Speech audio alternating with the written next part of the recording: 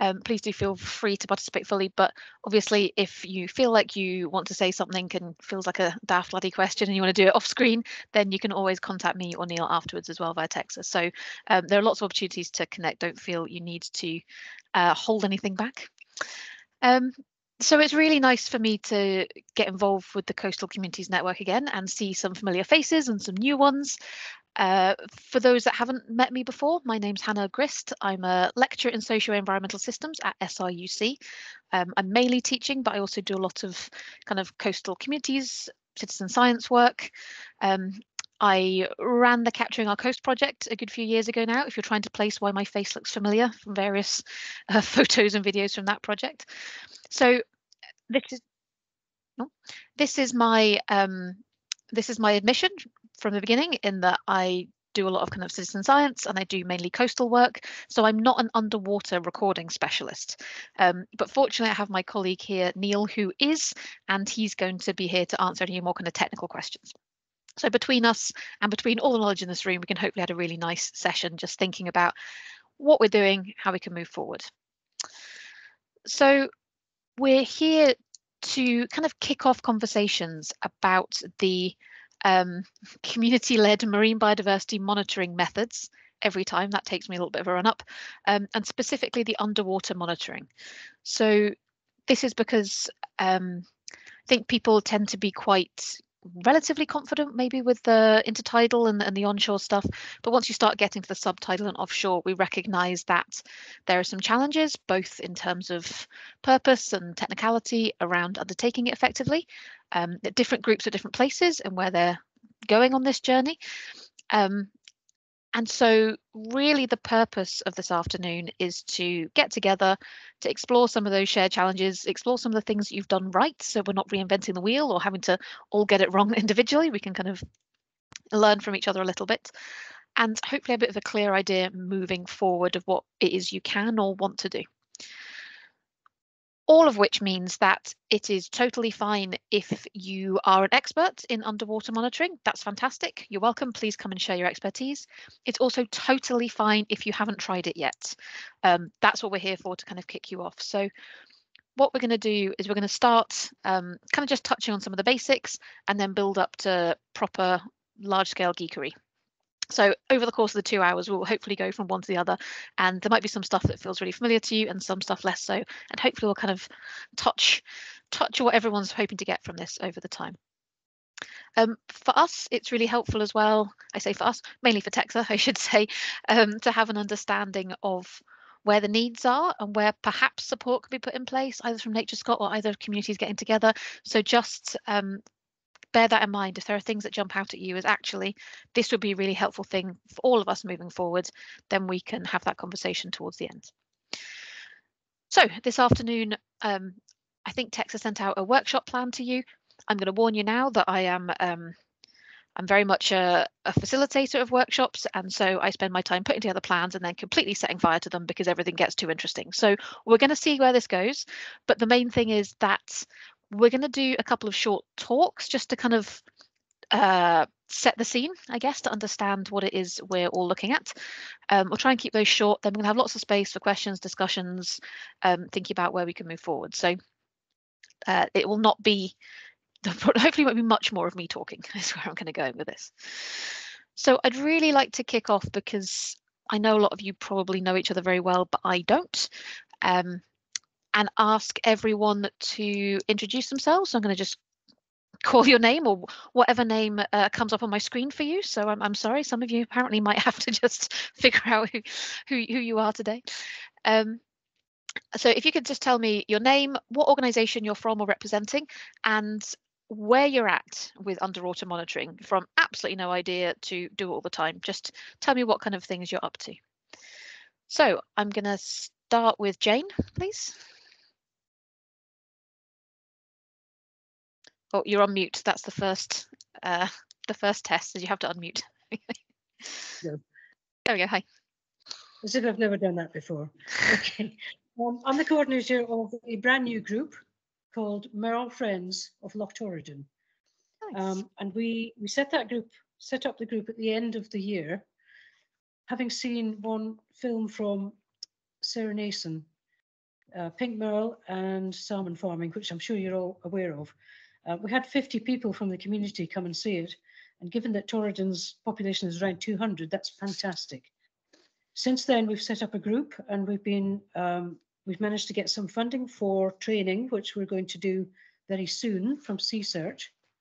Um, and our first dives and forays will be at the end of April, early May, where the divers and snorkelers and kayakers amongst us um, will attempt our very first survey, albeit um, more of a fun dive, but but basically setting the scene so that we can um, learn how to do it properly. So this is fantastic timing for us. Um, and I would also say Gregor, though he's there with Blue Hope Alliance, is one of our group as well. So fantastic. Well, welcome for the promise. Thank you. It's really nice to have you here while you're you're full of hope and excitement as well. That's so nice to have, have people kicking off. Brilliant. Thank you very much.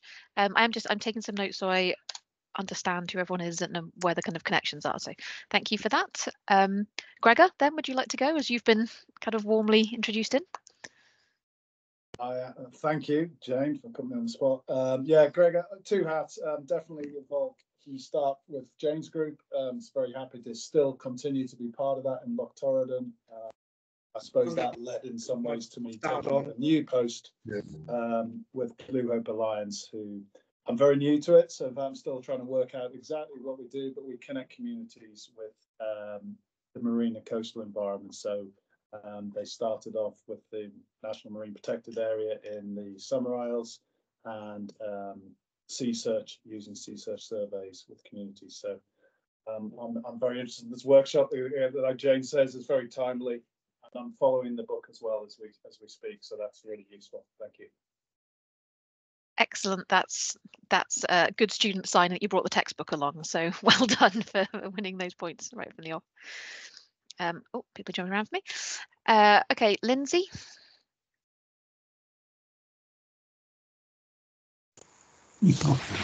Um, hi, I'm Lindsay, and this is my husband Gavin, and we're from South Skye Seas Initiative. Um, we've been doing underwater surveys for a few years, although not very many lately. And we've got a BlueROV underwater drone, and we've also been um, doing surveys with GoPros from kayaks or foot or boats. so, um, is there anything else we've? That's that probably sums it up. And uh, the aim of the surveys is we're sort of trying mainly to find seagrass and maerl to get the locations documented. So hopefully we can get them protected in the future. Okay, brilliant. Thank you very much. It's really nice to have you. Okay, Gavin.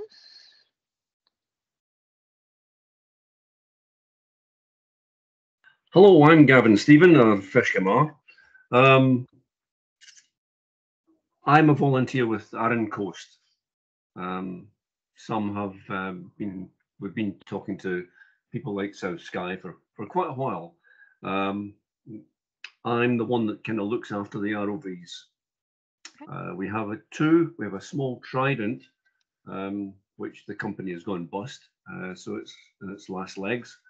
And the we also have a BlueROV 2, um, one of the earlier versions, but nonetheless, it's um, quite serviceable. Uh, what have we used it for? Well, last year, um, Convex came uh, up to Arran and uh, we did a preliminary survey of some of the sites that they would uh, like to see. And we took our ROV down to 90 meters, which was an achievement for us. Um, since up to that point, we've had some serious leakages in it. Anyway, um, we also have the um, uh, marine protected area, the no-take zone, and we've been using it on there, uh, trying to monitor um, some of the maerl beds in particular. Um, uh, and uh, we're expecting to use some uh, citizen science projects this year um, uh, and take the ROVs out and let people use them because the more people that use them, the more information that comes. Fantastic. Thank you very much. And it sounds like you've got a, a reasonable amount of experience going on there with ROVs. So we'll be looking I'm to you for your. I'm, I'm, in the book. I'm in the book. Oh, wow. In that case. fame indeed. Thank you very much. Um, You're welcome. Vanessa and Martin.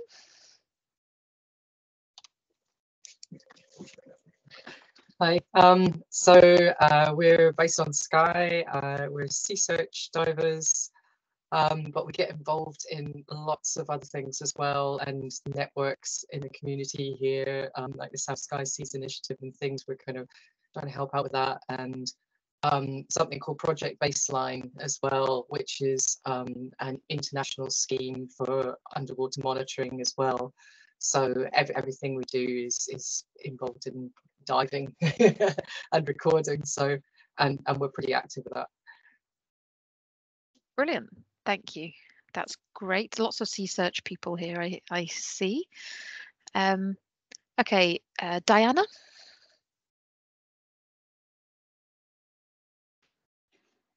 I'm involved with the um, Local Nature Reserve.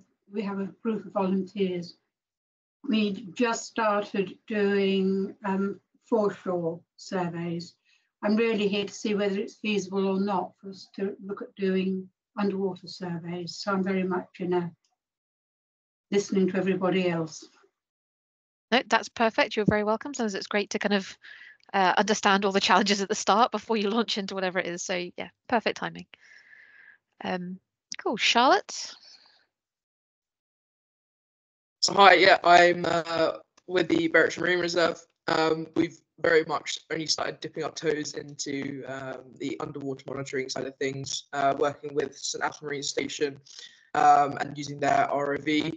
Uh, last year we started surveying for uh, horse mussels um, in the waters of the, of the Marine Reserve, um, and we're kind of hoping to expand that underwater monitoring. So uh, quite interested to see uh, what comes out of today's meeting.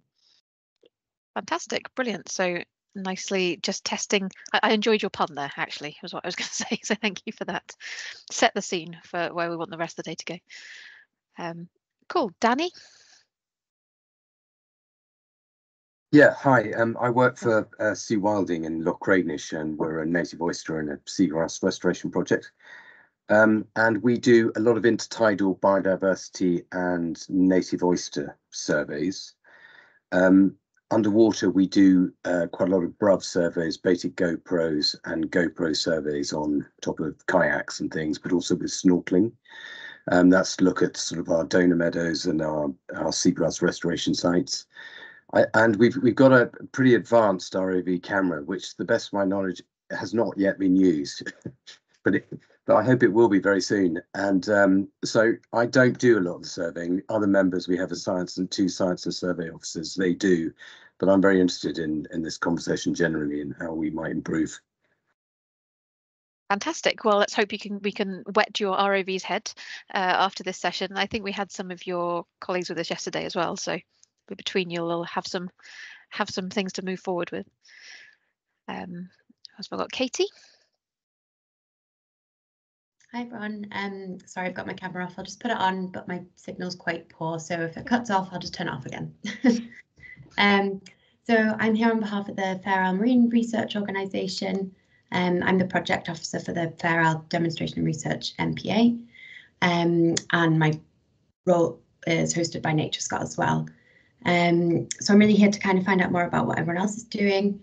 Um, Fair Isle Marine Research Organisation do have some equipment already from the NatureScot community-led biodiversity. I struggle with that as well. Biodiversity monitoring equipment fund. Um, so at the moment we've mostly got equipment for intertidal monitoring um, and like a GoPro and that sort of thing. We've also got um, some baited landers as well. So really just wanting to see what other folk are doing and if there's anything else we could implement um, as we're really trying to expand a bit more on the citizen science projects um, and the community-led monitoring side of the, the research projects that are going on as part of the DRMPA. So yeah, looking forward to what other people are up to and whether we can learn anything from, from everyone. Cheers. Brilliant, and I, I definitely think so. I think there's probably lots of lots of knowledge we can share there, so that's that's great. Um, uh, Finley.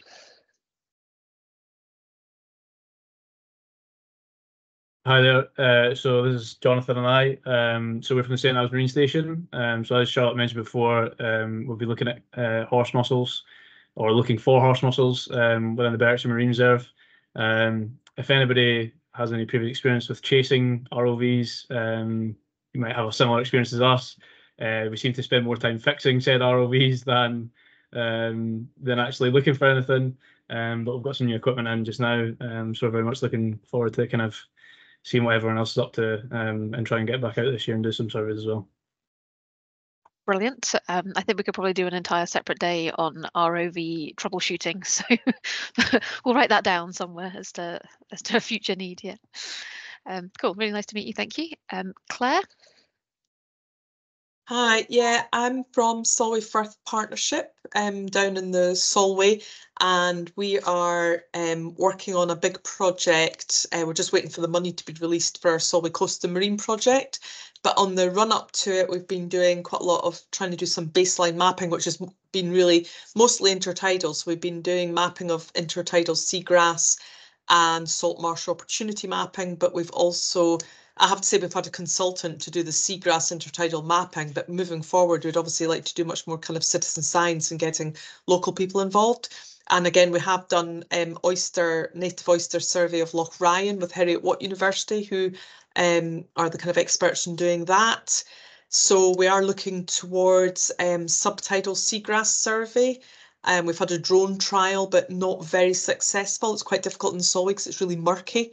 So um, kind of looking for um, possibilities of, of different ways of doing kind of subtidal surveys of in the wider Solway for um, the potential for native oyster restoration and like say seagrass. And we have got um, local dive group at Newton Stewart and they have been doing a bit of, of work as well, but obviously they're limited to what they can do. I think the always probably because it's so tidal, it's quite difficult to, to kind of dive regularly in it. Yeah, brilliant. Okay, so it's nice to to hear kind of starting as a title and trying to to move down and and see these techniques. So that's that's perfect. Um, fabulous, Erica. Uh, yeah, thanks. I think most of my side's kind of been covered by everyone else um, that Yeah, I work with. Um, so yeah, I also work at the St. Abbs Marine Station with Finlay and Jump, and it is through our funding that we got through SMEEF that we worked with the Berwickshire Marine Reserve uh, last summer um, to look for horse mussels uh, with an ROV, and that also involves some divers from Project Baseline that was funded through a kind of side project with Blue Marine. Um, and yeah, so basically now through some more from the SMEEF funding, we have our own ROV. So we're kind of hoping that today will sort of help us. Yeah, because we we are traditionally a research aquarium, so most of our research has really been yeah in that space and not actually out in the field. So yeah, Perfect. That's that's great and good to hear you've kind of got new kit coming as well. By the sounds of it, you sound you needed it. So, um, okay, Catherine, I think you just joined us. Are you happy to say who you are and any experience with kind of underwater monitoring so far? Uh, yes, I'm perfectly happy. Um, I am staying at Torridon and have been aware of this project from the new group that's been set up. Uh, I'm uh, I don't have any particular skills to bring. I'm just interested in in hearing what's going on. Uh, I am a scuba diver, but not a, an adventurous one. So um, you won't find me tangling with too much of the wildlife, but I'm very happy to participate if I can. Brilliant. Thank you very much. We did have some people complaining last night about uh, going diving during the winter. So I think totally fine to be a non-adventurous warm weather diver. No problem at Mm. all. Um, Neil will tell you all about that later. And um, and I think now I'm I'm sorry I didn't catch your name, the person that's masquerading as everyone else on Teams. But would you like to introduce yourself properly? Is, is that me?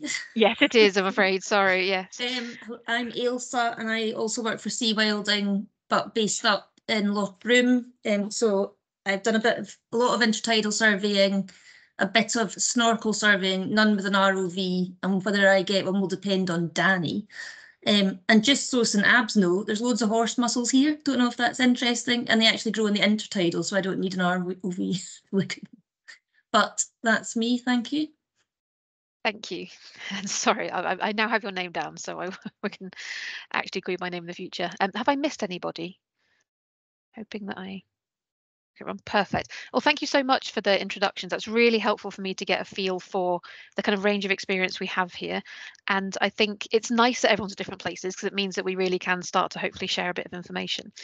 So I'm going to just take five ten minutes to, um, particularly for the people that are just kicking off and really starting their journey with Untitled underwater subtidal monitoring, um, just to introduce some of the methods in the community-led marine biodiversity monitoring handbook, um, just thinking about what they're used for, what's in there, and in particular, maybe what's missing and what kind of purposes you might want. So I'm going to use that to just kick a little bit of conversation off about what's in the book, what you're doing, and maybe what we might want to think about for the future. So I'm hoping you'll forgive me because what I am going to do, unfortunately, is just share my screen so we can look at some pictures at the same time. Um, it also means that I do lose you a little bit. So I am going to ask you to kind of uh, pop your hand up or or um, say something. Uh, if I if I don't call on you, it's not because I, I don't want to hear from you. It's because I'm kind of stuck between two screens right now. So please forgive me. Um, but I just wanted to kind of recap that the purpose of today really is not obviously so we can train everybody in doing uh, underwater monitoring or that we can unfortunately troubleshoot all ROVs. Um, it's really just to have that kind of discussion and knowledge sharing around some of the benefits of underwater monitoring that people have, have found, some of the challenges that they found. So people particularly that are new are going to have something that they can understand and go into. Um, maybe overcome some barriers that you've got so we can help you move forward or whatever it is you want to do or, or maybe spark some insights and think about what it is you want to do. And as i said just to give us an idea of where everyone's at what maybe training needs or requirements or anything is that you need to kind of help us move forward and then we can think about how to do that as a community. So i'm hoping that's okay. Um, I would say I also have a uh, a nice copy of the community-led marine biodiversity monitoring always by my side. Um, and what I'm going to do is just uh, talk through really a couple of the underwater methods that are there. So if you haven't had a chance to look through or, or not something you've really engaged with so far, you've got just that baseline understanding. So really there are only two underwater observation methods that are um, really listed in the book. Um, the first one is, is just called underwater observation, and that is very much an introductory method. So if you are new to this, you can use this method and it helps you ca capture all the, the kind of metadata, the associated data you need in order to do what we would consider, uh, I guess, a scientifically robust survey. So this is very much a kind of fixed survey station, so you don't have to move. You can do it from a kayak, you can do it from a boat without um, the need for anything kind of more high tech. Um, you can use pretty much any equipment. So for those of you that have ROVs, you can drop it down. You can use pole cams. You can uh, duct tape a GoPro to a bit of pipe. I think that's a pretty standard method. And you are really just recording what's there um, alongside the other data you need, like GPS and, and, the depth, so the kind of environmental data around you. Um, now, this is very much a kind of primary scoping survey. So for those of you that are interested in uh, just finding out what's there, maybe you have an MPA or a particular area, you want to see what species are present, um, you, can use that as evidence of presence if there are particular things you're looking for if you wanted to, you could do a kind of fixed survey station, come back to the same location and start looking at changes over time. Um, but really, this is this is just to help you understand what is under there. So for those of you that perhaps got much more focused needs, this wouldn't be the the ideal way of doing it, but would be a, a first start, basically.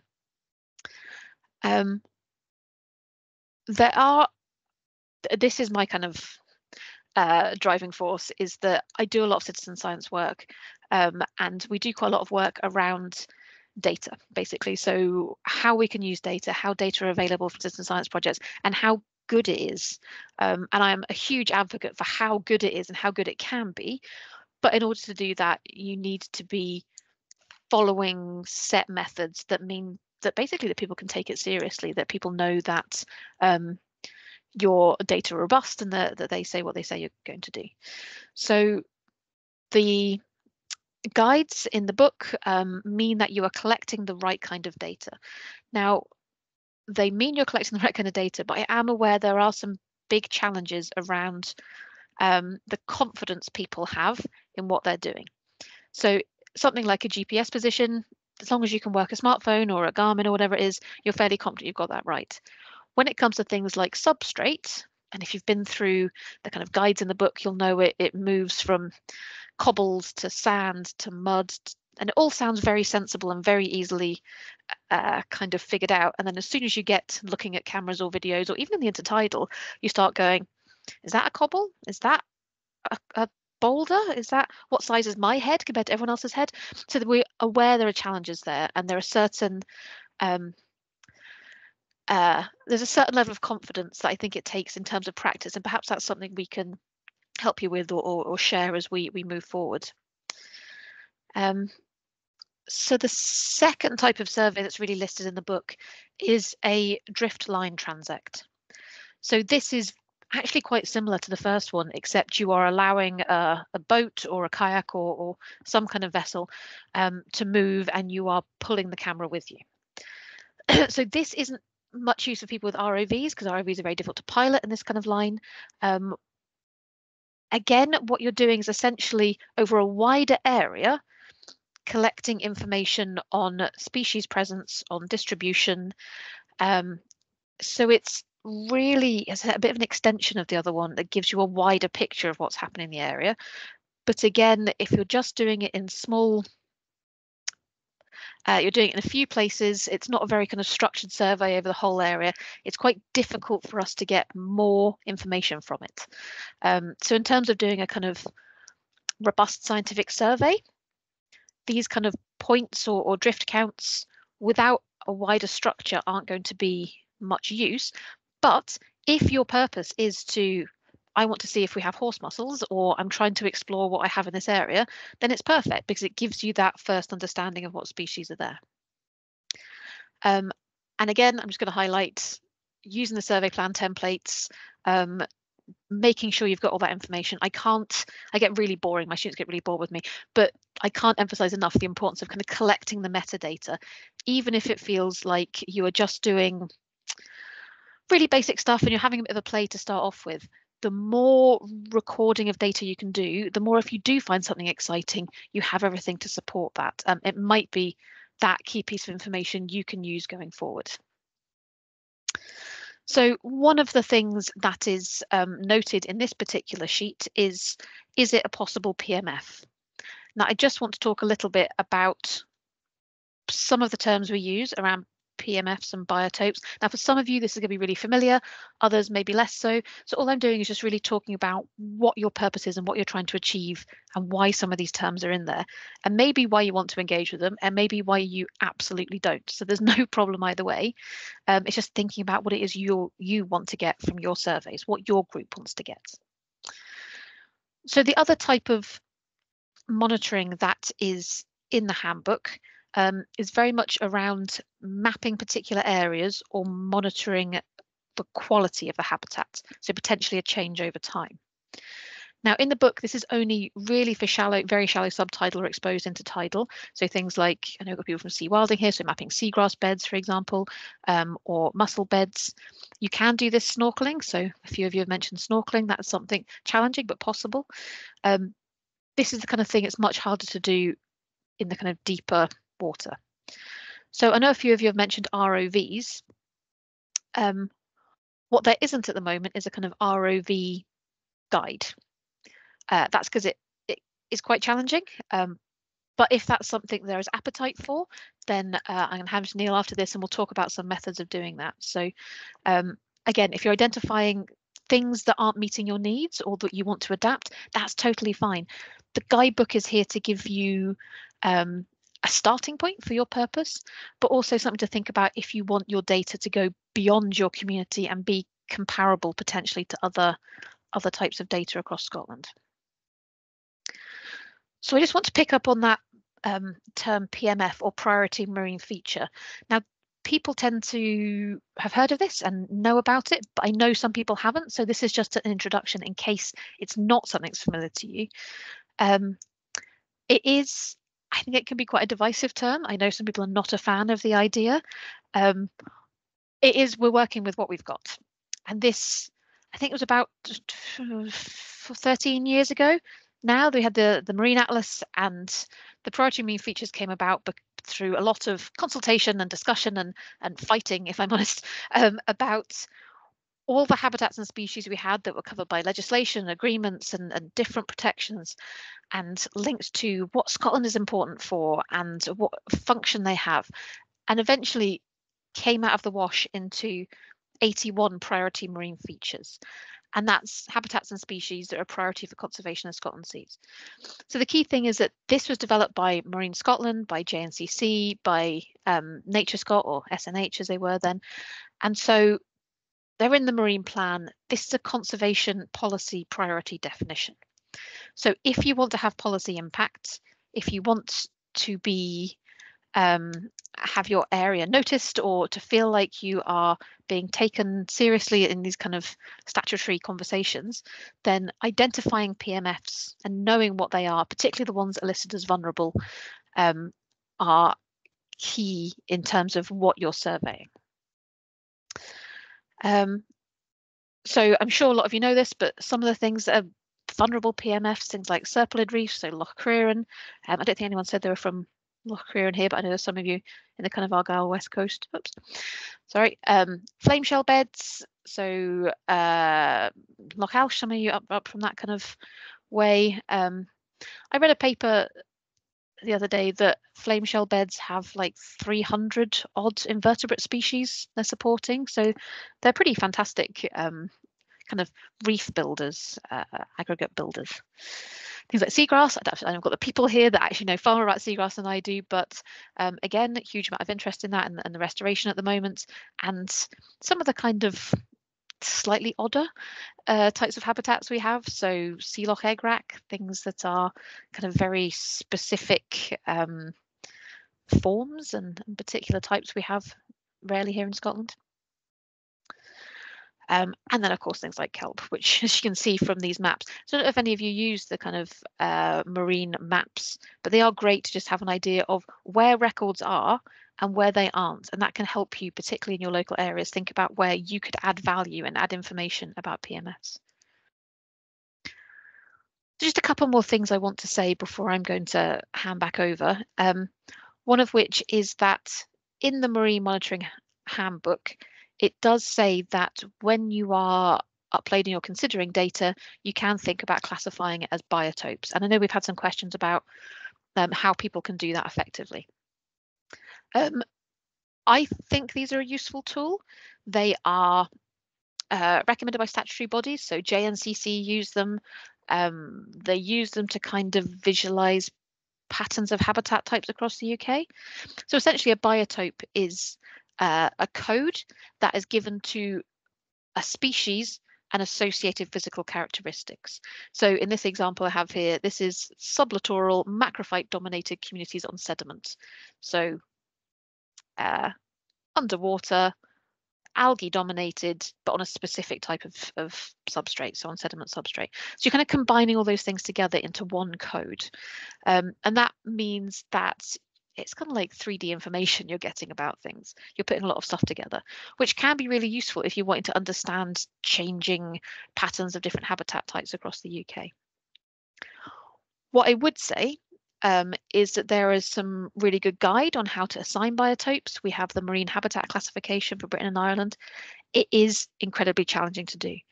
If it's already tough to think about how you tell the difference between a cobble and a boulder, and I will tell you that it I find it so as well.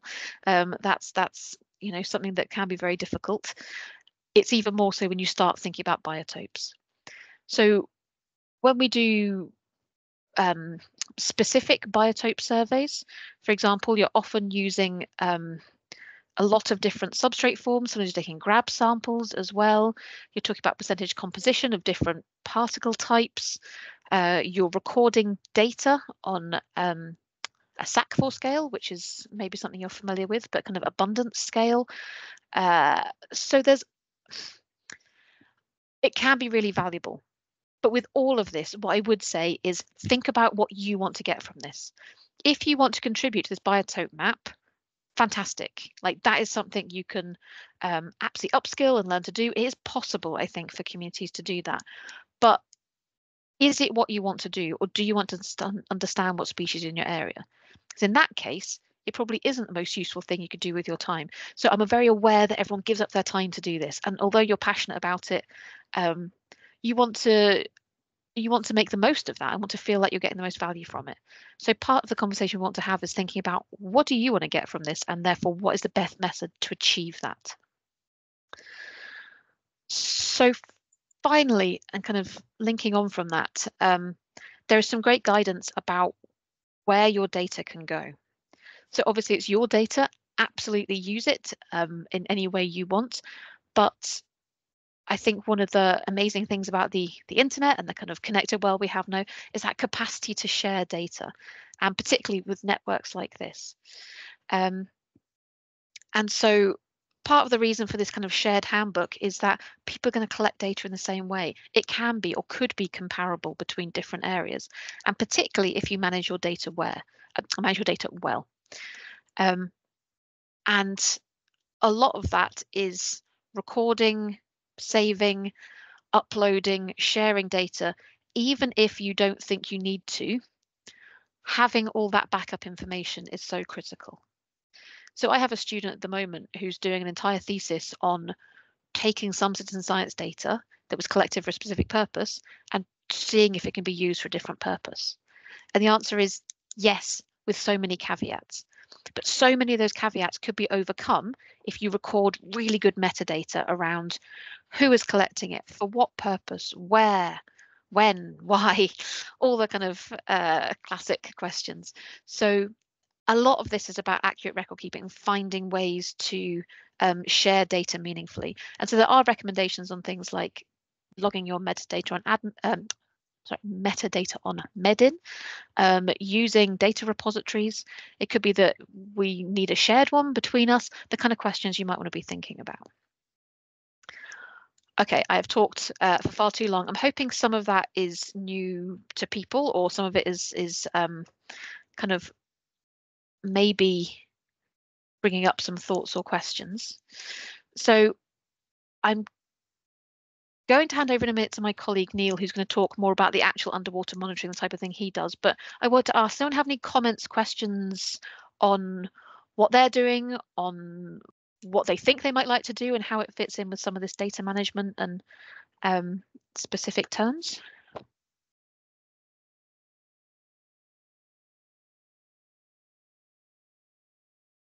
Have I stunned you all into excited silence with citizen science data chat?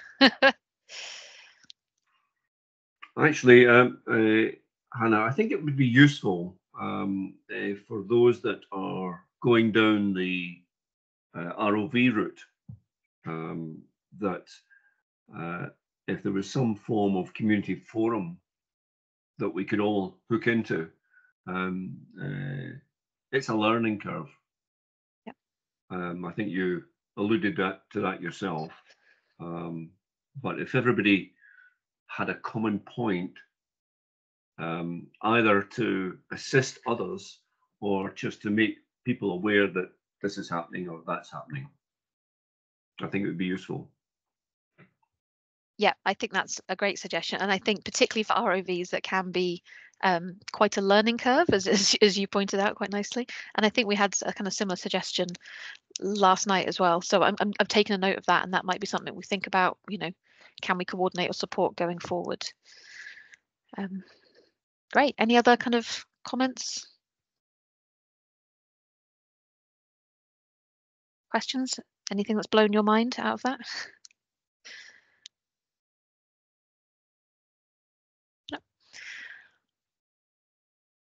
Okay. What I'm going to do then is I am going to um, ask Neil to come and talk. Are you there, Neil?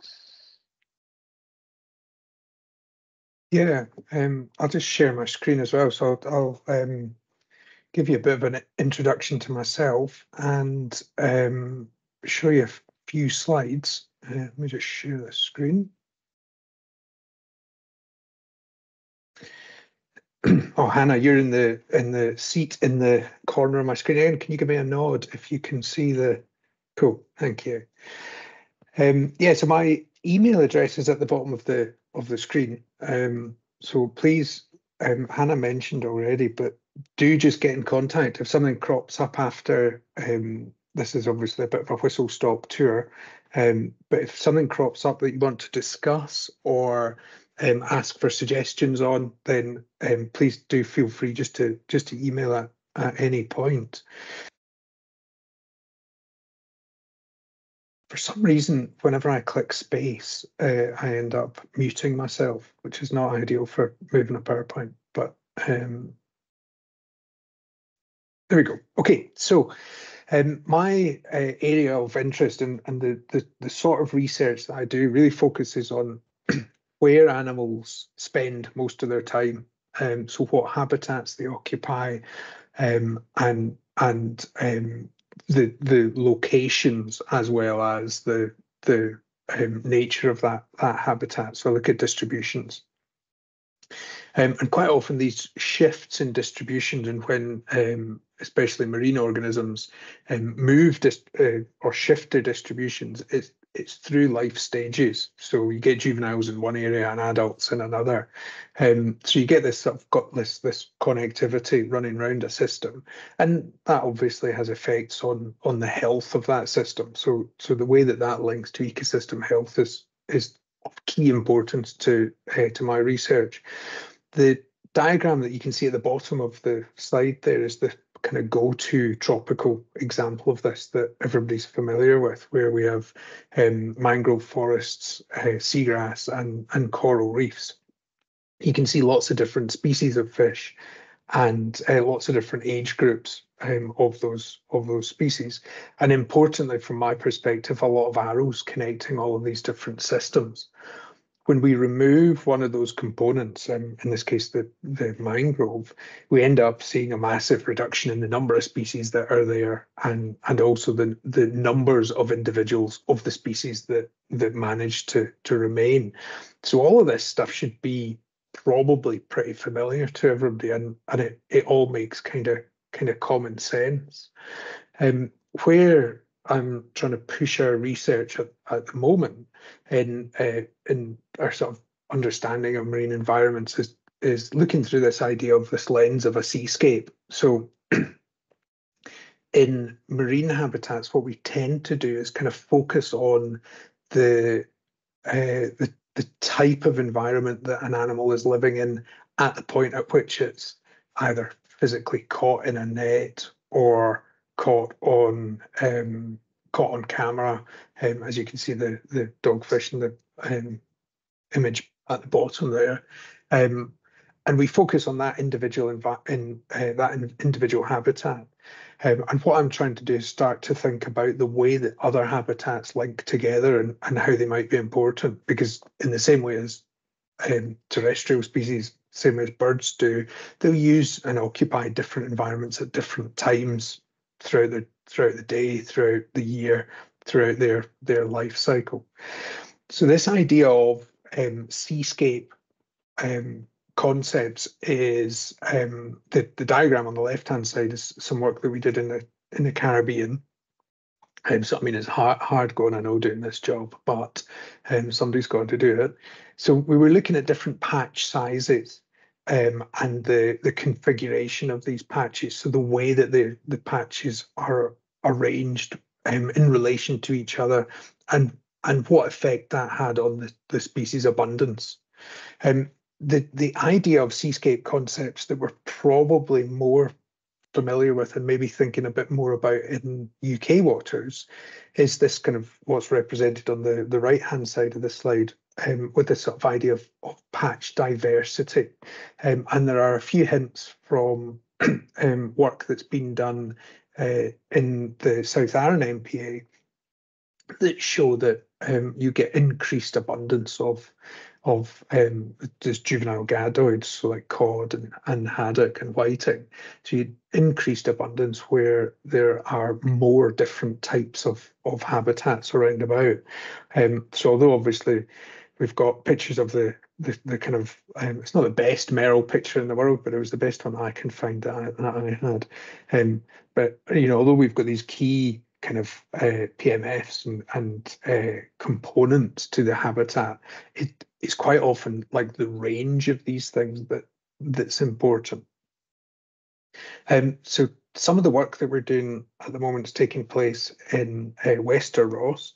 The reason that I included the slide here is just to just to to um, make sure that we're we're all on the same page when we're thinking about what it what it means for an area to be designated as an MPA. So my uh, research location is kind of defined on the uh, on the right hand map. Um, everything sort of south of the the orange line and into Little Loch Broom is is where I'm focusing on. It's just a kind of arbitrary definition of of where I think Little Loch Broom begins and ends. But the important bit about this is that we've we've got a multi-use MPA here. So we've got multi-use protection, and that that tends to be the way that um, the way that the MPAs are, or people want to um, designate MPAs. So it's super important that we collect a wide range of data. And um, there was a couple of questions last uh, or yesterday evening about the, about the zeros. So throwing a camera into the water and not seeing the thing that you're looking for. And it's really important that the, the recognizing that those zero um, or the the absence of something is is also a kind of useful bit of data, although it's maybe not the the bit of data that you um, are are excited to to see. Um, so just to give you an idea of the the amount of uh, sampling that we do for a um, for a, a, mapping exercise. So this is a, a, zoomed in shot of Little Loch Broom.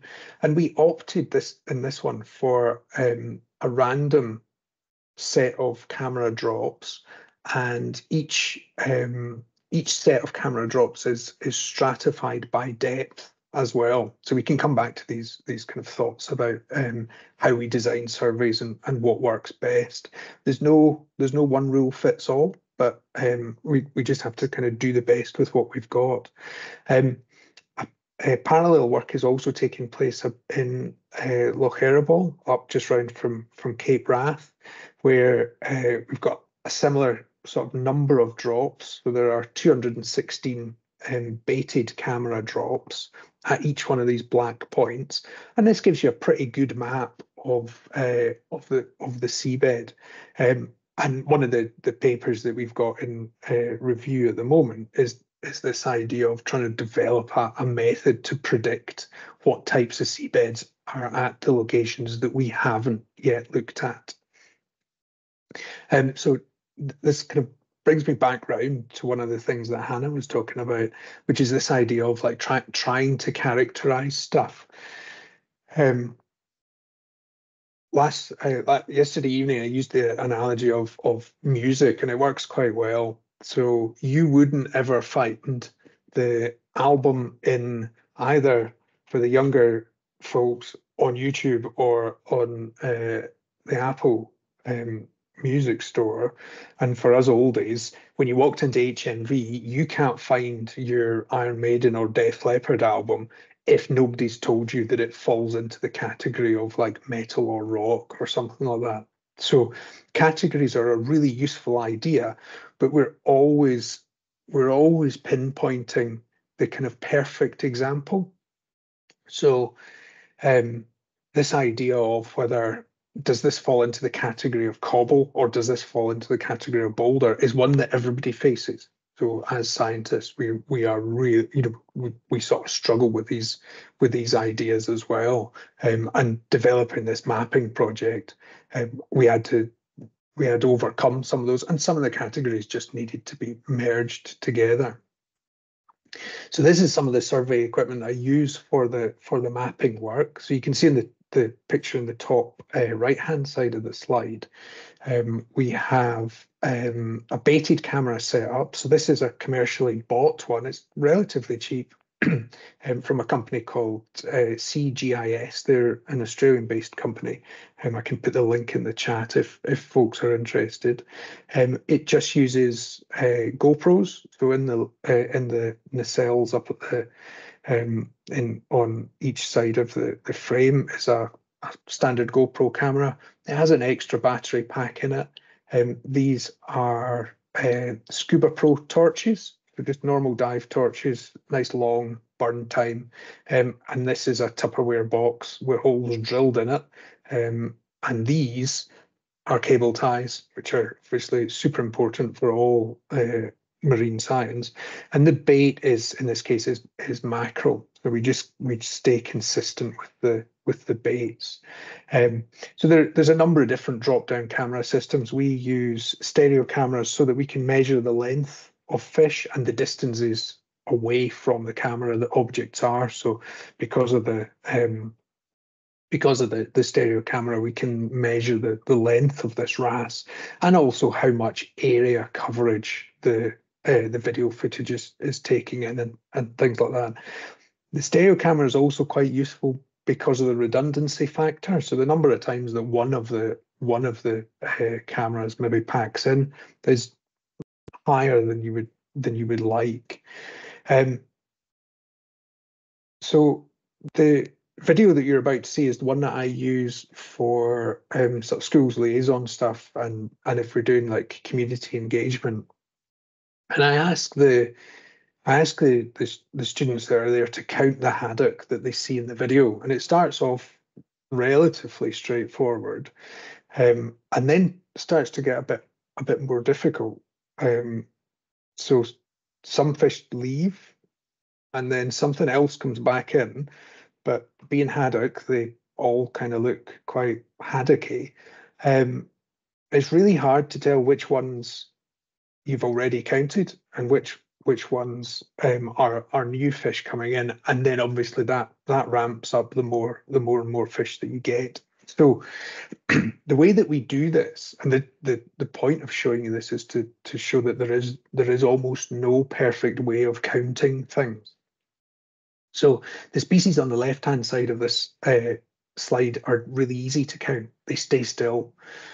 The larger species on the right hand side is difficult because the the individual that's now kind of in the middle of the three moved in and out of the of the camera frame. So the way around this is we use a, a measure called a MaxN. So it is a measure of abundance, but it's a it's a relative measure of abundance. Um, it means that we can compare um, years, so we can compare through uh, samples through time or in different locations that have used the same the same method, but we can't actually give you an answer to how many fish there are in the sea in one area using using something like MaxN. But all of these choices that that you make, and hopefully that these choices are made at the beginning, um, with you know with with some sort of reference to um, some of the the uh, manuals that are out there and and other people's experience, um, they're always a trade off. So there there is no perfect answer to any of these things. Um, one of the things that we did in the summer up at uh, last summer anyway up at um, Wester Ross and also uh, Loch Eriboll was do some skate egg surveys. Um, so we borrowed uh, the ROV from uh, Sue Pomeroy um, at uh, Little Loch Broom Marine Life, and we came up with a, a, a sort of working um, prototype strategy for doing these egg surveys. So it should it should work for for most people. Um, you can adapt it as well. It doesn't have to just be for ROVs. You can uh, use the same thing for for dived transects. Um, but what we can do later on is I can, I, I said uh, to the group um, last night that we'll maybe get Texa to to circulate um, this document round, and we can uh, we can have have everybody critique it and see what they think and see see how uh, see how how we can um, improve it. But the the diagram that you can see is my uh, rough drawing of the the setup. So um, if I can get my cursor to appear, there's a leaded line with uh, distances marked out on it to follow with the ROV. Um, so we dropped we dropped the the mooring line as a floating uh, rope. Uh, you drop the weight at uh, at a location, take a GPS coordinate, allow uh, allow the the boat to move along into the current, playing out the um, the transect uh, rope, and then drop another weight at the other end of the transect um, rope. It doesn't really matter how long this was. We uh, is we used um, 60 meters, um, and you can you can take the the ROV in. You find the the buoys quite nice and easily, bright orange, and then you can follow the you can follow follow the mooring line down. Um, and we got some some pretty decent transects um, done. It's relatively quick. Um, depends how wild the sea is up at uh, Loch Eriboll. Obviously, it's um, pretty wild, so uh, we get fewer done there. And then obviously you've got battery time to to worry about. So I'll I'll kind of round off. Um, I'll round off at this point, but I figured there's there, there are plenty of videos of different bits of uh, sea pens and uh, northern uh, feather stars and all, all sorts. But um, I figured I'd, I'd, round off with with a little bit of footage of, with what you can get with these drop down cameras. So this is this is the sort of work where uh, or this is the data that we're working with. Um, so you can see some some cobble, maybe boulder, cobble boulder stuff going on there. Um, this is why these things are are are difficult to uh, to categorize because they don't they don't necessarily easily fall into into categories. Um, and we get quite a lot of skate coming along to coming along to these uh, these bait boxes as well in in these locations. So um, we get some get some nice um, footage, but it's nice and you know it's nice and clear from from relatively inexpensive equipment. Um, so you don't you don't have to um, spend masses and masses of cash on on this sort of stuff. And um, as I said, there's lots of uh, there's lots more videos and things like that which I'm more than happy to share with you. But it's probably better to get some feedback and um, a little bit of discussion going on on this kind of stuff. So hope hopefully you get the the sort of impression that we're um, we struggle with as many of the different aspects of this kind of stuff as as you do. So it's not it's not like there is an automatic solution to how do we characterize this type of seabed habitat? How do we count these animals? Um it, it's literally problems that everybody faces all of the time. And the difficulty with these problems is that, that there is actually no good solid solution for all of it um, or well, Han- Hannah wouldn't have a job, and neither would I if that was the if that was the case. And and your um, your interests would would be a lot less interesting than, than they are. So yeah, I think um, Hannah, do you want to do you want to sort of chair questions and we can um, throw open? Yeah, absolutely. And thank you so much for that, Neil. Um, I know we quite often just offer more questions than than answers, but also really happy to have that conversation. So if there's anything really specific from uh, the brand of duct tape or cable ties Neil uses to how you uh, do any of this or design surveys, then this is the chance to kind of really throw this open. So if you just want to raise a, a virtual hand, if you have a question, a comment, anything you want to put in, um, that would be fab. Claire, you jumped straight in there, so go for it. Yeah, so a couple of times um, you kind of mentioned, Neil, that it's relatively inexpensive, but what do you mean by that? Like, you know, a rough price just to give us a bit of an idea? So the the GoPros, which uh, so we are we are surveying down to 160 meters um, with with those um, those uh, C uh, GIS systems. The GoPros are about sort of 400 pounds if you buy uh, like a an up to date um, model. Um, you don't need two of them. Uh, you can just use one. And the camera frames that we've got with the two um, the the two housings on them are about a thousand pounds. So whether that's cheap or not um, depends on what what your what your budget is, I guess. But um, you can buy the GoPro housing, the waterproof housing for the one that you would take diving or something like that for um, I think they're about forty pounds now. They've gone a bit cheaper, and that will go down to sixty meters, which is which is good enough um, for for an awful lot of work. The torches, those ones are those ones are excellent. They're kind of hundred odd pounds, um, and I can't remember who it was yesterday mentioned the great idea, and this this works a treat of uh, just using a creel. So if you get a metal creel, they usually land bottom down. um, and and uh, strapping the GoPro to that. So I don't know. Does that does that sound cheap, or am I like? Well, I think it sounds reasonable because that sounds like the kind of amount that you can easily apply for funding for, you know, from quite a small grant fund. So I think that sounds fair enough. Or, or borrow it. I mean, have my stuff if you want. Well, I say you. mine. yeah, like I mean, this all this stuff. n- n- Text, I'm going to throw you under the bus at this point, but NatureScot, I've got three of exactly those uh, types of uh, like sets of equipment. Um, I think they are actually using them at the moment um, for the the stuff that you'll have seen up uh, in uh, Wester Ross with the herring um, spawning grounds. But um, we like I, my PhD students use use that equipment in the summer. It is sitting there for the rest of the time. I'm quite quite happy to um, lend it out, help help people use it. Um, so yeah, that like there's loads of this available. So you don't necessarily have to have your own stuff. It's great. It's good fun having your own stuff, but I should add that Neil is also available for a very reasonable rate to send up to you to operate these things. So bear that in mind. Small grant scheme. Um, Texas, do you want to come back on on, on Neil's comment?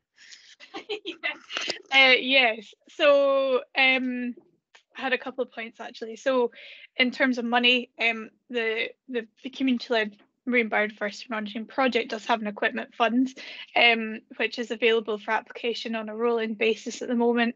It's 1,500 per group or 3,000 if you are combining with another group um, as a kind of combined application. So the information for that is on the website. So that is something that you can potentially apply to if you're looking for your for your equipment. Um, in terms of what NatureScot has, yeah, we do have actually um, some equipment kicking about. We're kind of collating what that is and, and what that looks like. So um, do buzz me an email if that is something that you might be interested in kind of borrowing and I'll, I'll see what the scope is for that. Um, and finally, the other thing that was in the top of my head now I've completely forgotten. I might remember later. I'll pass on and I'll I'll put my hand up again if I remember. We'll, we'll wait with eager anticipation. okay, thank you for that. That that's great. Um, Lindsay. Hi, um, I was seriously considering putting down a line for using with the ROV, but I was just a bit worried about the um, legalities or sensibilities of doing it in a PMF area. Um, whether A, I could be doing any damage dropping weights with lines, and also whether I can get done for it. Um, so I, th- I think a good uh, a good rule of thumb um, would be if the if the area that you're working in allows creeling, then you're absolutely fine, and you're not in terms of um, you're not going to do any more damage than they're already doing. So if if it's not if it's not an area that allows creeling, then you might need to be a little bit more careful. Um, but it you know we we do this stuff on coral reefs, which are an awful lot more you know sensitive than than um than a lot of habit. You know if you if you drop this stuff into um say like a, a kelp bed, then basically it's okay. Some of the times you end up with with kelp fronds coming up with the equipment. And where, where were you thinking about doing it? Um, well, I want to drop dropping the, the ROV into a kelp bed. I have enough trouble flying it through other things. um, yeah, it's just, well, we're mostly looking at seagrass areas. Um, so it'd be crossing a seagrass bed so we can get a more accurate sort of estimate. So I, I, th- I think the issue there would be the, and I think, so yeah, the, the difficulty with the seagrass bed will be the fact that it's, it'll just hide, you know, it'll hide the, the rope. Um, there are probably better ways to survey the seagrass than um, than with an ROV. I would suggest people people suggested yesterday using it depends how clear your water is, but um, using drones um, and uh, da Daniel kindly hosted one of my uh, um, honors students uh, this year. Um, so if you if you can get yourself a student, you strap a GPS to them and send them off snorkeling, and they'll they'll map out the map out the seagrass bed. All you have to do is put them up for a while and well try not to drown them if you don't mind. um, yeah, I'm interested in the drone. Um, I'd like more information at some point. We're hoping somebody might do a talk about using drones for things like seagrass and the difficulties. Because obviously on the west coast here around Skye, the water is reasonably clear. Yeah, yeah. I think ha- Hannah, we we should maybe have a think about getting Simon. So there's a chap here, Simon Gibson Poole, who has kind of specialised in that uh, in that sort of stuff. And so yeah, we can certainly uh, we can certainly start and maybe get him involved and get him to to give a bit of a chat. I think I think he get got in on the ground with as a as a terrible kind of pun, but he, I think he got in and on the ground with the use of of drones in over farmland. Um, so it was a good sort of field surveying method. So you know, he, he's used to having used ones that are like the size of the t- not the size of your desk, um, and now he's down to you know stuff that's like this size. Yeah. Um, can I make a, a quick comment? Um, uh, Gavin, please. Yeah. Regarding two things. Uh, one was um, we've we've we're the fortunate position or unfortunate position we've got the no takes on which is the highest level of um, MPA you can get so far. Um, and we regularly use the ROV in there. Um, we try not to disturb the the um, underlying um, seabed, but it's inevitable. You will hit the seabed. It's guaranteed. Um, so the minor incursions that you do are immaterial because the current will clear up any damage that you've you've done within half an hour. Um, that's point first point. The second point is um, putting an ROV into kelp. You've discovered, or you will discover, um, is a nightmare. Um, the same goes for uh, seagrass. It's a nightmare. The worst thing of all is bootlace. Um, it wraps around the thrusters and just burns them out. I really recommend that you try and steer clear of trying to put it into anything that's relatively squidgy and um, and uh, incapable of snapping easily. Okay, Thank you. that's my two comments. No, that that's great. Thank you, Gavin. And I think um, there's definitely, uh, I guess, desire for an ROV kind of wider conversation here because I think there's a lot of um, potential conversations about where and how it can be used. Um, as it comes to the drones, I think that that could be something as well to think about. I'm not sure if anyone else is. I know there've probably been more restrictions around drones, but if that's something people are interested in, I think there's expertise around, and we can certainly provide some. Just to, if you want to have a geeky conversation, then we've definitely got some folk that can do that. Um, and uh, Texa, did you want to come in on on these conversations? Yeah, I actually remembered one of the things I was going to say, of course. Um, so the on the other point of just the general equipment uh, discussion that we just had, um, there is also at the moment a kind of community equipment um, list where essentially people can pop on what they have, and if they are willing to share that equipment with other people. Um, obviously, there's absolutely no obligation to share, and they don't have you don't have to fill the the, the list in. Um, but that is kind of ongoing. I, I will find a link to it and see where we're at with it, um, which might be helpful for people to know what equipment is out there. Um, and in terms of kind of um, what we're talking about, kind of I suppose the potential impacts of of doing work on a particular habitat. So a couple of things just to to keep in mind in that there are certain situations that do require some kind of license and um, particularly if you're kind of putting moorings or, or, or kind of more slightly semi-permanent structures on the seabed and that's usually a crown estate um, affair so you need to have a wee look into that um, and there are sometimes um, questions about certain things around um, certainly uh, particular survey types in marine protected areas. Um, so there are discussions about that. I'm not. I, I, think it is a quite a grey area to be honest, and I think that it's not. There's nothing, no restrictions as as such. Um, but it is worth having these discussions with um, certainly the statutory bodies like NatureScot just to make sure um, everything's on the right side. Um, so yeah, that was just two points on that.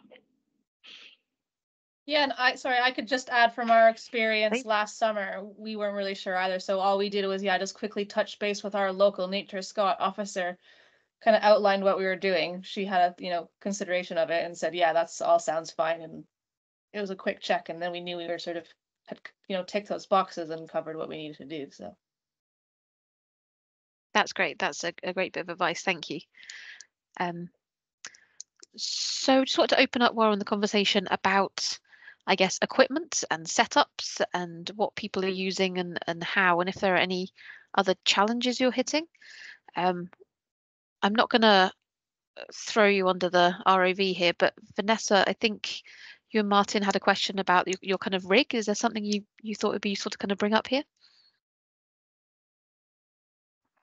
Yeah, hi. Um, yeah, we're, I mean, we're a different situation because we're doing um, diving surveys so we've started out with Seasearch, we were taking photos and things, and then we were lucky enough to get hold of a GoPro with a waterproof casing, and we've been using that to take informal videos and things like that.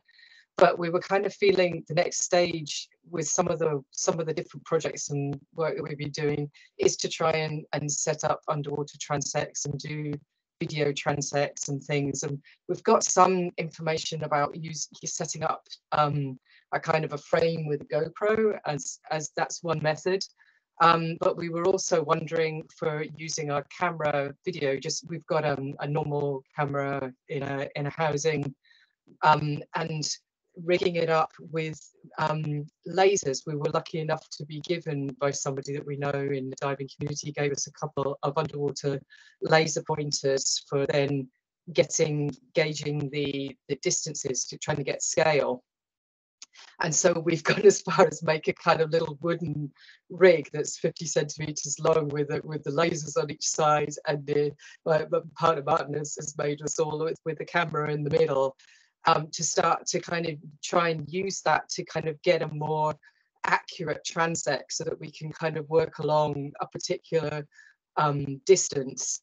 Um, but we're really much newbies at this and the um, at the moment we're not sure we, have got a neighbor that can do amazing things in metal and we were hoping eventually that we might be able to get him to make us some kind of a rig for it but I wondered if there were any standard, you know, it could maybe a good place to look for um, uh, references for how to go about doing this um, for actually making something, or whether it is a case of you make something for your particular needs.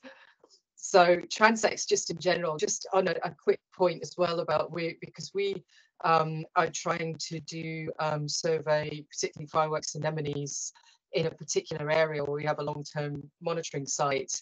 And there we're trying to um, gauge abundance and set up something a bit more um, accurate in terms of having transects and doing counts and that kind of thing um, but the first thing is setting up a transect. There's so many fireworks anemones that if you put a line across, we're worried about disturbing them. So it kind of goes back to what you were saying previously about disturbance to what you're trying to survey and whether or not in the long term it's going to affect them by by having this line but just putting this line up and down with all the tentacles and everything is quite challenging um, so, but the idea is, is that we can somehow get to try and get a straight line transect and get an actual, a decent count that's more than just us swimming across in a line on a bearing and taking account from whatever we can see to something a little bit more um, organized. So that's that's essentially in a nutshell what we have and, and, what what we're trying to do. So I don't know um, if that's you know if there's somewhere we can we can look for information about help for that.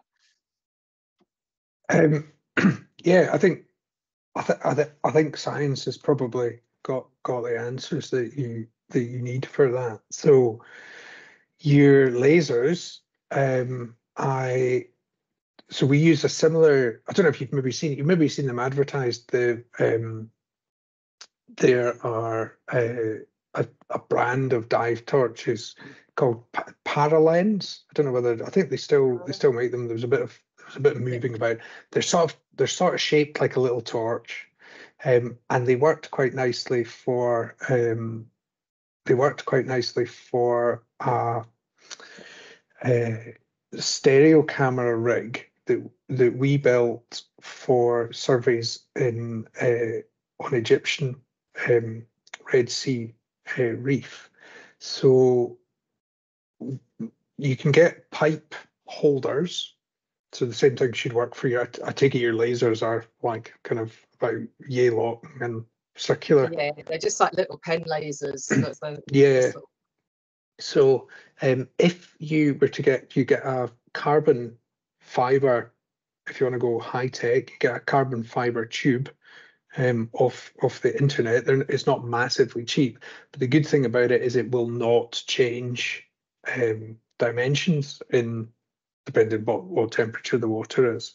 So if you've got a, a black tube sitting out in the um, in the, the heat of a Scottish summer on a boat deck, and then you dump jump dump it in the water, it will ch- it will change size. The, the carbon fiber won't move as much, um, and you could attach your lasers to that just with um, kind of pipe hangers. Um, so that that might be a kind of and then mount the camera in the middle of it, and you've you've got a um, a, a mount that you can that you can use. Um, for the anemones, I would just I would suggest probably a um, a quadrat sample would be more appropriate. Mm-hmm. Um, so again, for reefs, what we what we'll do, um, I don't know if I've got a um, yeah, so let me just share let me just share my screen. Um, so we did uh, I think I don't think it's in it's not in present it's not in uh, full presenter view but there was we, we were working on these real weird reefs in the caribbean um, where it's all just soft but it's all soft sponges not not massive amount of coral. Um, so transect tape laid out um, and you can get coral point count it's called. Um, there's a, a, bit of a it's a bit of a um, convoluted process to get it. So I think it's I think it's Nova University in uh, in the states in Florida that uh, make and supply it. So the the shortened acronym um, shortened acronym for it is CPC, Coral Point Count. Um, and all you actually need to do is, as long as you work out somewhere, it doesn't need to be on the um, on on uh, the actual bit of uh, reef that you're working on or or wherever you're working on. As long as you make sure that you will end up with a square box, then all you need to do is put a, a transect tape down, or we, we managed to put this on around the sides of uh, of reefs. Um, Coral Point Count will draw you the, the box around about it. So you just tell it the distance from here to here is 20 centimeters, it will draw the quadrat and then it will give you a set of points across the quadrat. And all you need to do is say whether your species is there or not there. Obviously, it's designed for coral, but the, the easiest thing to do is just just pick a, a common coral. So there's there's a brain coral, for example. So it'll have a code for that you could use that for one of your species. We can work together if you want to change to change that, um, and that will give you a percentage cover of whatever species that you that you want to to use. Um, what kind of visibility in the water do you need to use this? Um, anything doesn't matter as long as you can see it. Yeah, it's not. It sounds all. Yeah, it sounds all very computery. Is is not at all. It's it's all um, Mark, one eyeball. So yeah, you are. Uh, you're um, you're pinpointing what it is. All it's doing is giving you a random set of points or a systematic set of Mhm. points, whatever you whatever you choose. Mhm. You can also ask uh, ChatGTP to do that for you as well if you want to count the stuff. So you can just ask it to give you a set of points across that across an image. Cool. Thank you very much.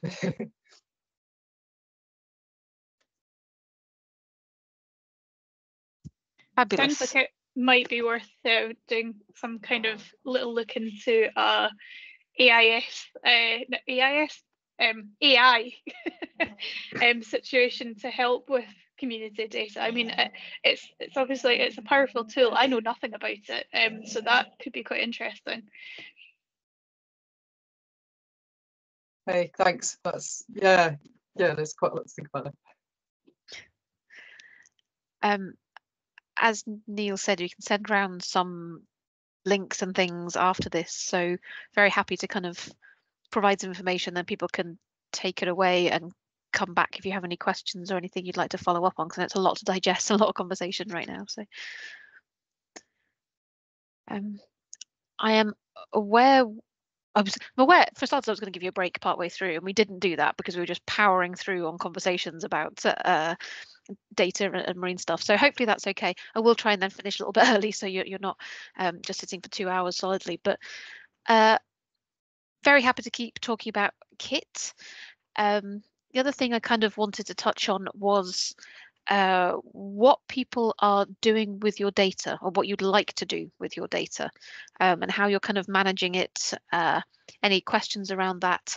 I know last night a lot of people were saying that you send your data to Seasearch and then it kind of goes off to them for validation.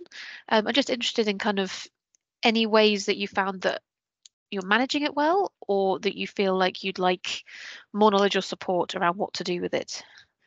Um, any kind of comments, suggestions, thoughts?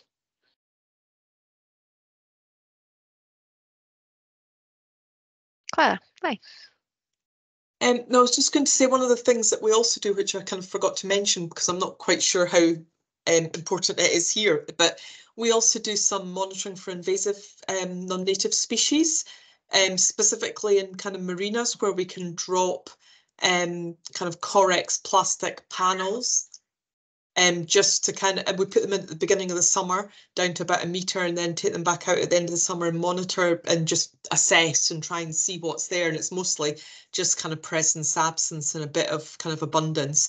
But we pass all that information on to our local record centre who are, are really happy to have it because they don't have an awful lot of marine data. And I think a lot of local record centres are very much focused on kind of terrestrial records but also we pass it on to um, NMPI, um, National Marine Plan Interactive, because they quite like to have those records as well. And I usually pass them on to somebody in SEPA, um, although I don't know how much um, actual record storing and data storing they do, and also NatureScot.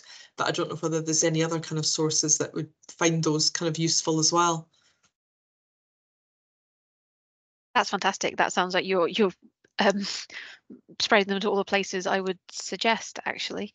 Uh, and I think if a lot of local record centres, I think the last estimate was that less than five percent of the data and records they have are marine. So actually, you're doing a, you know, every record has impact. I think um, in the marine environment there. So that that's fantastic. Texa, do you have any other suggestions of places for particularly for invasive species data, um, or do you think that's that's kind of covering it? That um, invasive species. So um, basically, what what we're doing at Nature Scott, it, it, with all data essentially is moving it onto the JNCC new marine recorder, um, which is a, a new kind of um, look marine recorder which existed before but, but now it's been updated um so that is where we are we're hoping to, to kind of put what the previous records that we've got and then um, put stuff moving forward. So the idea is that once it passes into my recorder, it can then um, pass onto the relevant database, and that might be GEMS for PMFs, um, other other aspects.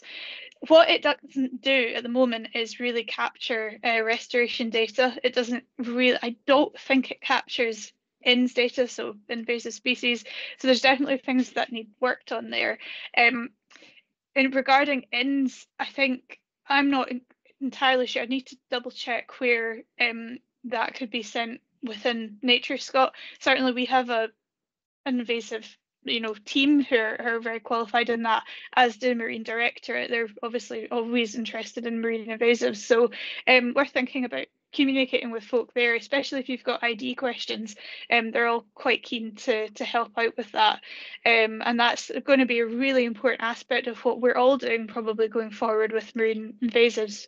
Really is going to be um, an up and coming kind of probably struggle that we're we're going to be facing as our waters change with uh, with climate change. So um, just worth thinking about. That's great, thank you. I think that's that's really helpful. Um, Lindsay.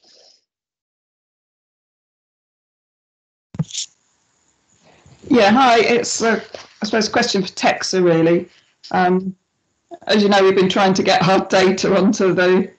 We've we've been filling in the big spreadsheets and trying to get the data on, but obviously there's a struggle to for that to happen. If the system's changing to the new marine recorder, is there any point carrying on filling in the spreadsheets? I think is my question because they take quite a while to fill in. Yeah, I appreciate that. So basically, um, we do need the data in the format of the sheets to pass on to Recorder because that data is kind of transcribed over. Um, there, while we're we're it's all a working situation with Marine Recorder right now. I'm not on the Marine Recorder development team. Um, so what the situation is currently is that there are people who are um, kind of verified uh, data enterers who can then enter data onto the platform. Um, at the moment, we don't have community groups who are community data enterers. We don't have that. Um, that might be something that we can do in the future. The only um, kind of caveat associated with that would be that the data would need to be kind of um, verified, QA'd and all that before it passed into Marine Recorder, which is not necessarily, you know, an issue as long as that did happen. So it's all kind of moving um, in, a, in a process at the moment. Um, Lindsay, your data currently, we, we're a lot of it is already in Marine Recorder, which is excellent. Um, Ed Thompson is actually the data um, manager for a lot of the data that comes through the project, which is brilliant. So he's been working really hard on that. Um, ideally, then that um, passes on to NMPI and then on to GEMS as well. So it's it's that staged process, but um, we're working through this as well. This is a it's all in a kind of this is all quite new territory and we're trying to work out what systems work best and what how to find our feet with especially you know communicating between all the different data sources and passing them on. So just um always you know give us your feedback. Let us know what challenges you've got especially with the data sheets. And know that there are challenges there so I'm, i am working on um kind of trying to improve that. But yeah just keep an open dialogue. We're, we're really um, interested in and need to be uh, driven by what your needs are. So, okay, so carry on with the carry on with the sheets. If you can, yes. I probably not what you want to hear right now, but yeah. um, I think it's just a general point as well, because when we're trying to find out what records exist, um, say around Skye, seagrass records and that, it's just really difficult because there were just there just seem to be so many different places and all, all the databases that you look at seem to have different records on them. It's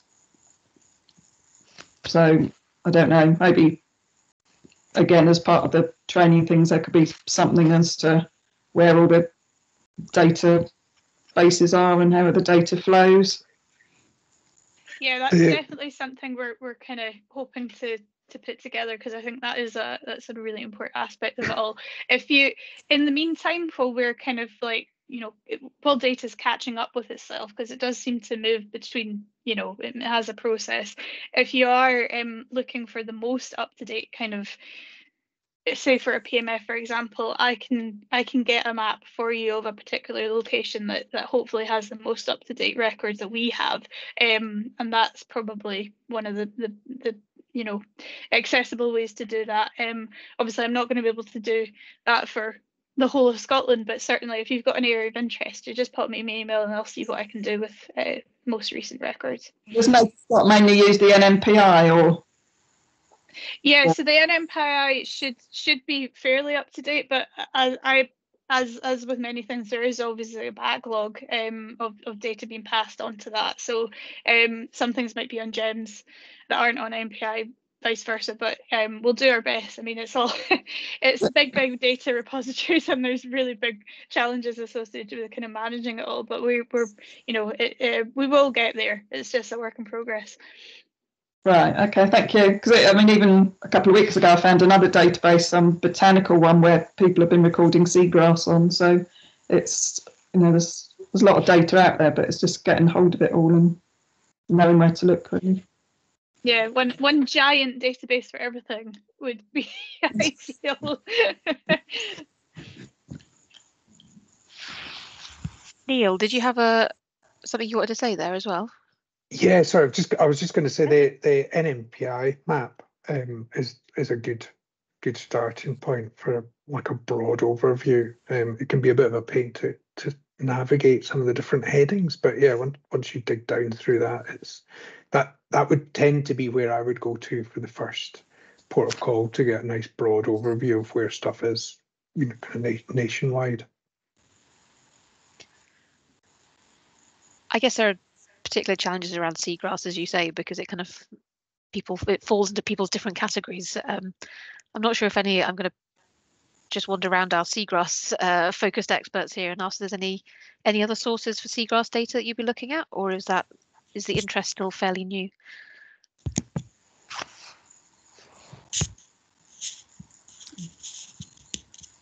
I'm going to take that as a no, is the key. Uh, Lindsay, did you have a something that you could add? Um, I'd just say seagrass spotter is great for finding seagrass all around everywhere. So it's very easy to load the data and very easy to see see where records are and drill down into them. So so that's obviously, I'm going to say, relatively new um, and very focused. Is there are there any other types of insert species spotter or very specific databases or sites that anyone's using for anything, or is it seagrass is, is the main? I don't know of any. I'm just interested if anyone else has any that they're using. No? Okay, good to kind of check that out. Um, so I kind of we've we've got maybe 10 minutes left before I want to let everyone go. So this is a an open space to be able to ask any more questions that you feel you have. But um, I also particularly, for our benefit, wanted to ask anyone anything that's a barrier to you doing this. So whether that's equipment costs, I think we touched on that, whether that's access to data, access to expertise, lack of training. Is there anything that would assist you moving forward with the monitoring you want to do. Um, this is for us to kind of, it's not, we can't promise everything, but we can just start to, to gather these things together and see what can be done. Uh, Katie? Hi, yeah, um, this isn't necessarily a barrier as such. It's just something that I'm wondering if other groups can advise about. Um, and I've approached Texa about this before as well. Um, so it'd just be quite good to see if anyone's got any recommendations. Um, we've been quite lucky to get some funding for some higher value equipment. Um, and as our sort of like collection of equipment grows, we're wanting to get it insured. Um, so I wondered if anyone here on the call, like with higher value equipment, particularly like ROVs, because I can imagine they're quite expensive, um, whether anyone has experience with specific um, insurance or if they can recommend any um, specific companies, that would be really helpful because it just at the moment seems like a bit of a, a minefield. Thanks. No, that that's a great question. Does anyone does anyone insure their ROVs? I'm going to look at Gavin a little bit and say that you might have. We we do It's insure ours, but under our- unfortunately, it's our admin person who does that, so I couldn't tell you anything. But I could find out for people. But yeah, Yeah, equally the same. It's just under the the uh, Discovery Centre insurance um, as equipment. Okay, great, thank you. Um, yeah, I'm just wondering because we're a charity, charitable organisation, how we can kind of integrate that into what we've got in place already. But no, that's good to know. Well, thank I, you. I'll, I'll get the information and uh, pass it on to Texa. Wonderful. That would be great. Thank you. Thank you very much, Erica and Gavin. That's really helpful. Um, and good questions, exactly the kind of questions it's really useful to have other people's input on and, and share. So keep these kind of things coming. Um, Lindsay, do you have a question as well? Comment? Yeah, to comment on the last one, we don't insure our ROV. And then my next question was also about insurance, and that's more for what our liability is if we try and get volunteers to come out with us to do these sort of surveys.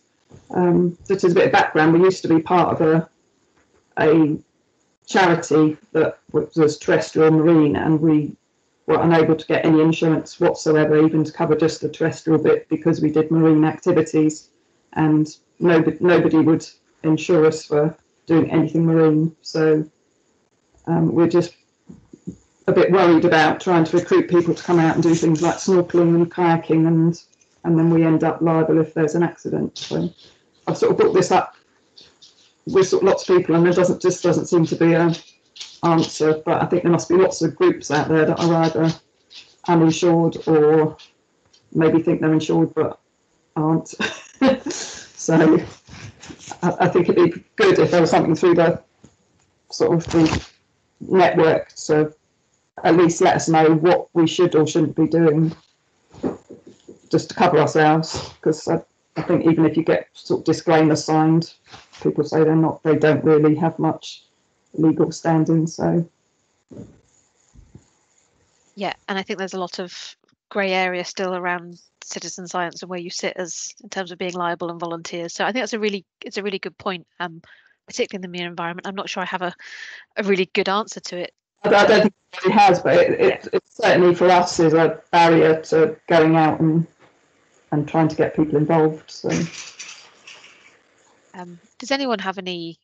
Is any is anyone cracked for this? Is anyone doing anything that they would be willing or happy to share, or is this a problem that a lot of people are facing or potentially thinking about? Um, Hannah, can I say something?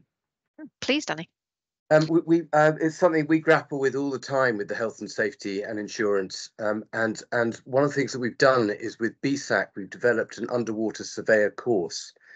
Um, and if you go to the BSAC website, you you and put in underwater surveyor course, you can. Uh, you, it's a practical course and it's an online course. Um, and and the reason why we did that was to try and um, get some level of qualification for some of the volunteer snorkelers that we were working with um, simply for sort of um, HSE reasons. And so, but that might be something that some of the people on this course might be, might look into, and because I think it's it's worth doing for multiple reasons. And do you feel that's helped your kind of liability essentially because you've you've got people to a certain level of expertise? Is that is that the reason it was Uh, done, or is that a benefit? Yes, um, that was the reason why we did it. Um, and there was, I mean, BSAC, BSAC, we took some advice from BSAC and they reckoned that by developing this course and by having this qualification, um, it would help us should there be, um, um, you know, an incident. Um, so that's that's a requirement that we that that we all our volunteers who consistently work with us to do snorkel um, snorkel surveying now have to take that course. So we just it it it, it just it sort of gives us some level of of expertise that we can point to. Excellent. I think that's that's really helpful. And is that is that used more widely beyond your volunteers? Do BSAC use it for others, or is this It's- going to be rolled out? It's only just been launched, um, Okay. and it was launched about a month ago. Um, and um, so if if you, I, I don't think you have to be a BSAC member to take the course, but there is a fee. I think it's about twenty five pounds, something like that. Um, but it's it's BSAC recognised. Okay, that's great. Thank you. Um, I There's, Sorry, Neil, just gonna, I'll just add to. So there, there's a whole, yeah, there's a whole range of, of online BSAC materials for, um, like just the snorkeling skills. So it'll teach duck diving, mask clearing and stuff like that. So it's quite, you know, it's quite a useful resource. So even if somebody, um, it isn't necessarily a member of BSAC, I, th- I think they can download them. Um, there is another dive agency also called RAID, who all of the material is free, whether they do whether they do an online uh, snorkeling version.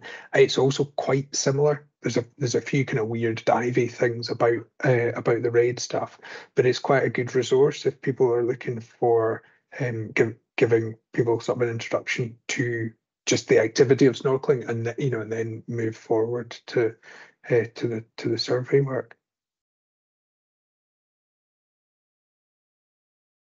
Brilliant. I wonder if again there's scope for just sharing some of these um, links and resources that might be helpful. Um, Lindsay, is that a legacy hand or do you have a, something you want to bring back? Uh, that's a legacy hand. That's absolutely fine. Um, okay, quite cognizant of time. So are there any last comments, thoughts or questions while we're here together? Um, I think this has been really useful having people's input and, and expertise here. So I've certainly found it really interesting. Is there anything else you'd like to talk about um, or mention or question, Erica? Um, yeah, I think I guess maybe one thing that we certainly also struggled with this year was actually trying to involve the community more. Um, so I was just sort of wondering what's worked for other people. Um, you know, we because obviously Beacon St. Abbs were a super popular dive site. Um, so we tried putting posters on all the dive boats and all the local dive shops and even dive shops from further afield that come to St. Abbs and um, with the hopes that they would kind of help us with some of our our like looking for horse mussels and stuff. And all the all those people were like very happy to take our posters, but we didn't have a single diver, you know, report a sighting other than Charlotte, who's in this conversation, who was part of the project anyway. Um, you know, so we were kind of a bit sort of disappointed that that kind of didn't really go anywhere. Um, so yeah, I don't know what's kind of what other people have found have worked. So the the classic question about volunteer engagement and retention, I guess. Um, yeah. Texa, was there a, something you want to say about that? Yeah, I just I just want to raise that it's not just um you know it's not on an individual basis that this is a struggle and it's right across Scotland, the UK and beyond. It really um, seems to be a bit of a fallout from the COVID impact that people are really struggling to find the time and capacity to volunteer and that's really tough when you're trying to run a, a kind of community group with volunteers. Um, it's I, I don't have an answer to it, but I just wanted to kind of, you know, say that it isn't it is it's not just you. Essentially, everyone's having this issue. Um, I think that maintaining good connections and, and offering opportunities that are, are possibly less time consuming as well for people to get involved in could be a way to get you know just get that momentum built up but it is really tricky and I, I, I, I totally understand where you're coming from there because it's a, it's a really hard one um but everyone is is having a, a bad time with it at the moment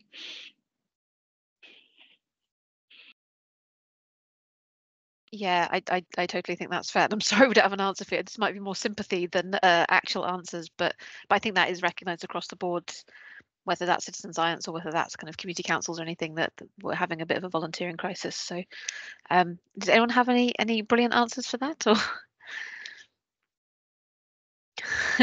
the the silence I Honour think speaks volumes. That's a very academic answer, Neil. I love it. Um, But, but we are, on, you- no, you do it, you do it, on you go.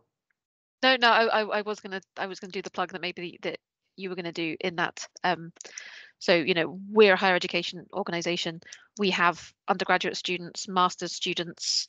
Uh, I've got master's students coming out of my ears looking for projects, and they're looking for uh, projects. They really want to do projects with communities or to feel they've made a difference.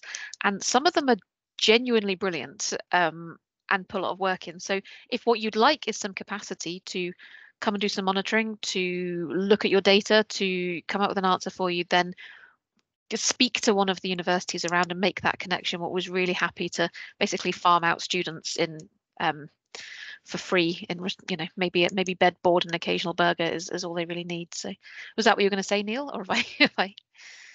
It, exact, exactly, yeah, and and don't feel bad about coming to us either if uh, you know if, if you want referral to other you know un, other sets of institutions as well. Quite happy to to um, you know su suggest that oh St Andrews might be better for that or Glasgow might be better for that.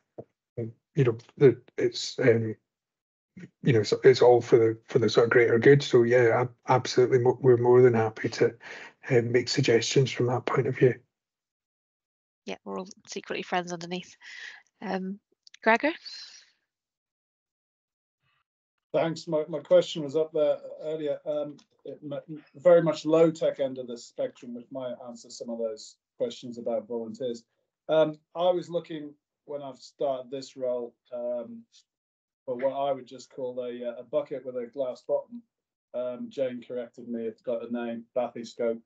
Um, I'm surprised it hasn't come up. Um, certainly, I'm running something for kids in, I think, but it warms up a bit anyway, um, according to parents. And just a, uh, you know, a, a, glass bottom bucket would seem to me a good toe in the water or head in the water type of thing. I know it's not, well, it's not super scientific, but I noticed in the um, booklet, people, scientists obviously use them. Anybody experience it? I found a very cheap one on Amazon, so I'll buy a few of them for the kids and see how they go. Um, but there's obviously more technical things like everything. Um, but you get what you pay for, don't you? Uh, Neil, bucket with a glass bottom comments, I think is, is where we're going here. It's just a it's just a slightly smaller glass bottom boat, so it sounds pretty it sounds pretty technical. No, I mean it's it's absolutely perfect. The the the problem with all the shiny tech is it's really shiny, but it's also uh, like liable to to breakage every five seconds. So yeah, you you will gather more if you know if, if your site is accessible with um so say you're you're mapping um some shallows, um then if it's accessible with a bucket with a glass bottom in it, then um you are probably much much better using that than um, and say an ROV. Quite a lot of my uh, students have wanted to map areas of of uh, seagrass, as as um, Danny knows. Um, some of them have been doing that on more um, so far, further up the shoreline, and you know desperate to do it with with say like a um, a drone or something like that. And actually, their best bet is to walk around the thing holding a GPS because you know it's proven tech and and it'll last all day. And um, you know, if you give them a Snickers, they'll keep going. The the um, the drone runs out of battery much quicker. So yeah, no, I'm I'm all in favour of if if you want to use a really technical piece of equipment, I think you need a really, really good reason to want to do it. Mark, mark one eyeballs usually usually work the best.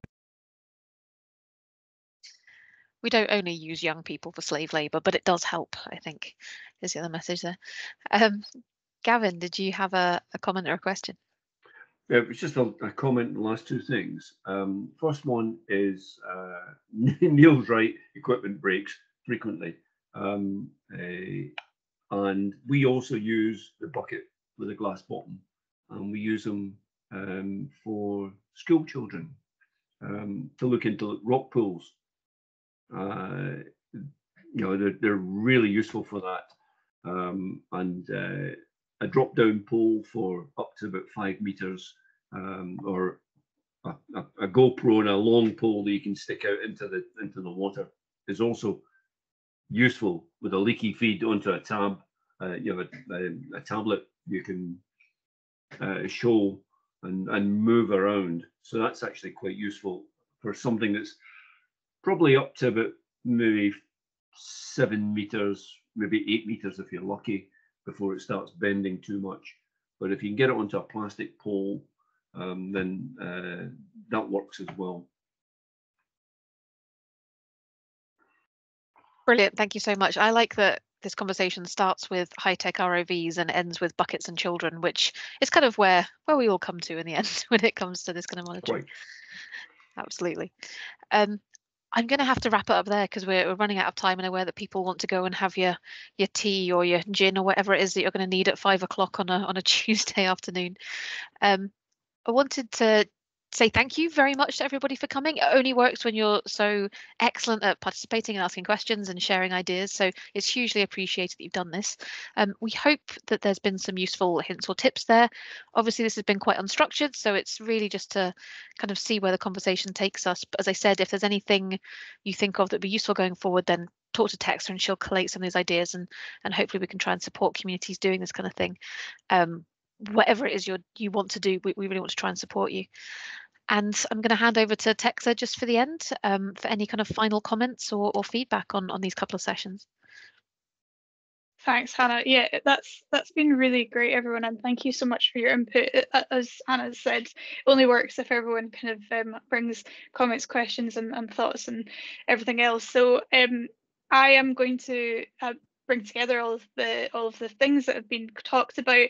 There's some really, really, really good ideas for training going forward. There's some good ideas for uh, potentially things that we can do to help ease processes or provide structure or, or places for things to go. So there's lots of things that I am going to be thinking about going forward. Um, the recordings I intend to do put onto the website. So if there is anything in there that you want to refer back to, they should be available for you. Um, so yeah, thank you so much. And again, ping us emails if you've got further questions or comments. Um, please do just get in touch. And yeah, thank you so much. And I hope you have a good rest of the day. Really love to meet you, everybody. Thank you so much. Thanks. Thank bye. you. Thank you. Bye. Thank you.